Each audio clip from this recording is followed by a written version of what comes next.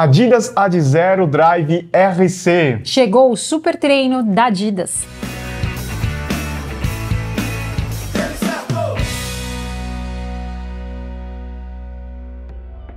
Eu sou Eduardo Suzuki. Eu sou Valeri Mello. E hoje a gente vai fazer um review muito aguardado que a gente estava ansioso para falar para vocês, Val. Muito ansiosos porque estávamos testando. O pessoal viu, o pessoal percebeu, muita gente comentou, mas finalmente estamos podendo falar sobre ele. É verdade, a gente deu uns spoilerzinhos, mas a gente não podia dar detalhe, a gente não poderia falar qual era o nome do tênis. Inclusive, quem foi para a Maratona do Rio tinha uns easter eggs lá na, na Expo, na retirada de kit, né, Val? Quem ficou atento, alguns seguidores falaram assim: oh, isso aqui é coisa nova, hein? Como o pessoal comentou. Até os nossos amigos youtubers gringos, eles perguntavam: que tênis é esse? É o Adios Pro 4 novo? Que tênis é esse? Não, não, a gente não pode contar. Afinal de contas, esse tênis aqui, ele é desenvolvido e produzido no Brasil, motivo de muito orgulho, porque o tênis é sensacional, já dando spoilers para vocês. Edu, categoria super treinos. Essa é a categoria do momento. Depois do pau para toda obra, né? Que o pessoal queria muito,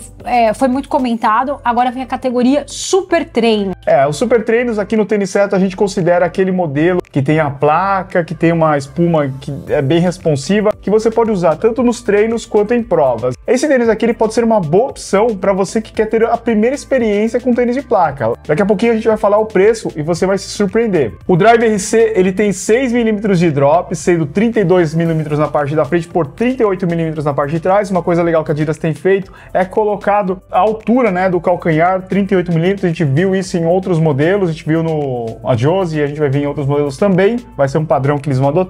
Falando desse cabedal, Val, Cabedal em mesh tecnológico, bem respirável, né? Super fininho, uma camada só. Eu não sei, eu tive a impressão de que o, o, tênis que eu testei, ele era meio que um protótipo. O final eu senti que ele tá ainda melhor. Não sei, é, é, talvez seja uma impressão, mas eu achei ele mais respirável, inclusive. Sim, o tênis é muito respirável. A gente vai ver que tem uma redução de materiais para deixar o tênis mais leve. Sistema de amarração com seis furos mais o furo extra. O cadarço meio que padrão assim de alguns modelos da linha Ad Zero. Tivemos uma boa amarração, sem problemas, né, Vavá? Sem problemas. Esse cabedal no, nesse modelo, ele veio muito mais ajustado, não tive problema nenhum com a amarração. A lingueta super fininha, sem nenhum enchimento de espuma. Ele tem até uns perfuros aqui nas laterais para deixar até mais respirável também. Ela não é presa na lateral, que no meio, né, você tem o passador, é só usar certinho que ele não vai ficar se mexendo. O colarinho também super fininho, só um pouquinho de enchimento de espuma, famoso, como chama, Val? Bigodinho? Bigodinho. Esse aqui tá mais uma barbinha, né? Porque ele vai aqui na lateral, não vai muito no, no, meio. Eu que sou aquela pessoa que tem problema de tendão de Aquiles, não tive problema. Corri a Wings for Life, fiz longão pra maratona com esse tênis aqui, não me incomodou. Sim. Essa é uma característica dos modelos mais de performance, né? Não tem um enchimento tão robusto, tão intenso quanto os outros tênis para rodagem, mas justamente para trazer esse lance de ter um tênis rápido para treinos e provas, tá? Vamos dar uma olhada na palmilha, super fininha, ela tem algumas furações, ela não é aquela palmilha curvada, né? É uma palmilha mais chapada, reta. O contraforte ele não vai ter nenhuma clipagem, super molinho, tem essa característica dessa asinha aqui que a gente vê em todos os modelos da família de zero, né, Val? Isso, isso. Fiquei imaginando, será que tem aqui também uma uma frase escrita como o Adios Pro 4? Não, aqui não tem. Não, ele só tem um detalhezinho aqui, é. parece um, uma espécie de silicone, né? Isso. A forma desse tênis aqui, ela é um pouquinho larguinha, né? Ela não é tão justa. Você pode optar por pegar uma numeração maior, mas lembre-se que ele vai sobrar um pouquinho mais do que, por exemplo, o Boston, do que o Adios, né? Sim, sim. Eu peguei o 36, que normalmente é, seria um número maior do que minha numeração, e nesse modelo ele veio mais ajustado. Então eu gostei bastante. Peguei um número maior, não tive problemas. Sobre as cores, as cores estão bem bonitas. A gente pode colocar aí na tela todas as cores. Diga nos comentários qual que é a sua cor favorita. Eu tava correndo com esse azul, que é um pouquinho mais escuro do que o da Val. E agora recebi o laranja, que tá lindo demais. Não, mas as cores estão incríveis. Eu gosto bastante da rosinha, mas tem preto, tem outras cores também. É, e estão todas aí disponíveis, né? Agora vamos falar da entressola, Val.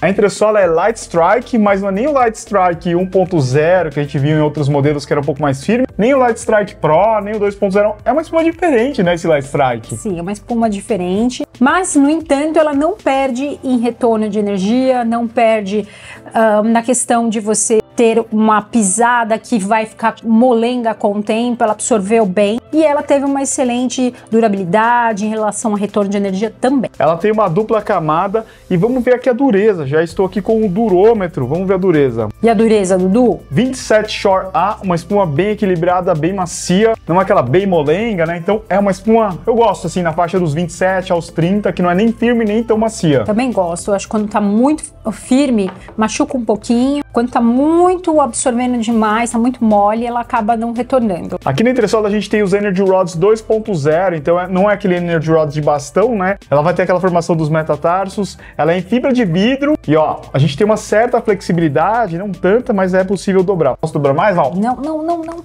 Tá bom. Agora vamos falar do solado, borracha de carbono bem resistente. Esse aqui já tá com mais de 300 km, Val. Como é que tá? Tá, reservou. Tá bom, né? Durou, durou. Opa, tô passando a mão aqui. Credo. Ah!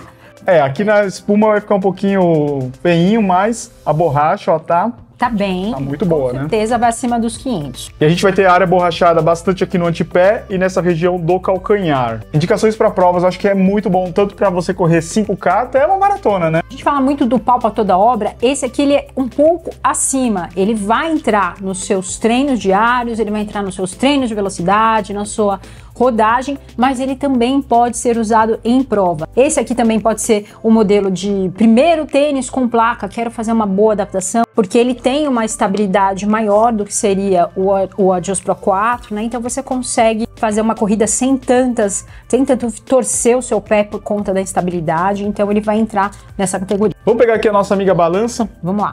Vamos ver o peso. O Adidas Ad Zero Drive RC tá pesando 232 gramas no tamanho 41. E no tamanho 36, 189 gramas. É relativamente leve, né? A gente tá falando de um tênis aí que abaixo dos 250 gramas no masculino é um tênis bem leve. E outra coisa boa é o preço, Vavá. R$ 899,99 preço de lançamento. É, ele vai estar competindo com ah, alguns da, da categoria себя. Pau para toda obra, mas os super treinos estão bem acima, né? Então o preço dele veio muito bom. E esse aqui é aquele modelo que eu imagino que foi desenvolvido aqui no Brasil e provavelmente vai ganhar o mundo de tão bom que é. A gente teve a oportunidade de fazer uma apresentação desse tênis aqui, cara, e a gente tava muito empolgado. Sim, sim. É um tênis que eu gostei demais, é um tênis que vai te entregar muito e é aquele tênis que vai ter um ótimo custo-benefício. A gente tá falando de 899, se a gente pegar outros modelos concorrentes, estão acima dos mil reais. Exatamente. Se você pegar essa categoria, você for observar, tá um acima. Eu gosto muito desse estilo de tênis de corrida que fica bonito no pé, sabe? Que não fica aquela cara de tênis de corrida. Ele flerta muito bem com o casual, né? Aquela coisa assim, tá, tá bonito, tá chamando atenção e ele consegue ficar bem ali naquela questão de, de um tênis ser bonito. Vou bater de novo, dá uma olhada nas cores, porque as cores elas estão muito bonitas, tem bastante opção, tem das mais chamativas até o preto básico, então assim, dá uma olhadinha. Gostei muito dessa cartela de cores. Vavá, já tô imaginando, será que eles vão lançar uma versão edição especial da Maratona do Rio? Ah, a, a gente quer, né? Eu acho que merece, não é? Esse ano o Adios Pro 3 da Maratona do Rio ficou lindo. Ele esgotou, foi assim uma sensação. Então eu acredito que para 2025 a Adidas vai fazer. Eu, eu acho que sim, merece. Eu acho que merece, sim. Fica aqui meu, meu voto, pode fazer. Pontos positivos. É um tênis muito versátil que você vai poder usar no seu longão, um tênis bem resistente, durável e também você vai poder usar nas provas, né, Val? E também você vai poder usar onde você quiser, porque ele é bonito demais. É muito bonito. E afinal de contas vai ter aí a chancela da Adidas, né, por trás. Exatamente, olha. Pontos de melhoria. Eu acho que para ser um tênis para treinos também, ele poderia ter um pouquinho mais de reforço aqui no contraforte, talvez, ser um pouquinho mais acolchoado para dar um pouquinho mais de conforto né, nesses treinos mais longos. Não chega a incomodar, mas eu acho que para treino longo poderia ser um pouquinho mais acolchoado aqui no contraforte. Sim, e eu teria colocaria essa palmilha fixa também. Eu- Colada? Eu, gosto de palmilha colada porque dependendo se estiver chovendo muito, se, eh, o, o comportamento da palmilha ele pode acabar, ela pode acabar sambando, saindo do tênis, isso incomoda demais. Eu gosto muito de palmilha colada. Agora aquela pergunta que vocês adoram: comprar ou pensar, Val? O que, que você acha? Comprar, sem dúvidas. Eu também acho que vale muito a pena comprar. Sendo até o único tênis, muito único, assim, o primeiro, só vou escolher esse. Hum, Então, eu acho que sim. Eu pegaria só esse. você pegaria só esse? É sensacional. Tá, eu, eu teria um, de repente, de entrada, um pouco mais com amortecimento. Então, primeiro. É, de repente ter o SL2 com o Drive C seria um rodízio aí bem bacana, bem Exato, interessante. exato. Então, assim, sendo, ó, vai ser o meu segundo tênis, agora eu quero investir um pouco mais, não quero ainda pagar, comprar um super tênis, mas quero investir nos meus treinos. Então, eu acho que o Drive RC. É, eu acho que pode ser uma boa opção também para quem ainda não experimentou um tênis da Adidas, né? Nenhum Sim. tênis da linha de zero. Exato, então eh, eu vou testar um primeiro tênis da Adidas, quero conhecer a marca. As opções de cores são muito boas, E né? o preço é muito bom. E o preço tá muito bom para você começar com um tênis que tem um excelente custo-benefício. Chuto, Vavá, que esse tênis aqui deve entrar para os melhores do ano. Ah, eu, eu É duro que vai ter outros modelos aí. Não, eu vou mas te esse falar um aqui, negócio. custo-benefício, talvez. Tá bonito de ver, tá bonito de ver o que a Adidas fez aqui nesse trabalho. Foram alguns anos aqui para chegar nisso e principalmente, isso é muito importante, trazer um bom custo-benefício, porque trazer um produto de fora acabava ficando muito caro, então a ideia de produzir no Brasil e parabéns para o Brasil também que está conseguindo subir aqui em relação à indústria, né? Então, os produtos, os produtos nacionais, obviamente, eles precisam de, de ter investimento também, equipamento, eh, mão de obra, tudo isso, então a gente está subindo, isso é muito bom. E a gente queria saber de vocês o que vocês acharam do novo Adidas Ad Zero Drive RC. Coloca nos comentários, vai ser bem legal ler a sua opinião. Esperamos que você tenha gostado de mais um vídeo. Compartilha, joga lá no seu grupo de WhatsApp, se inscreva aqui no nosso canal. Muito obrigado por ter assistido até aqui. Valeu, Val. Valeu, Dudu! Até a próxima. Abraço a todos. Tênis certo!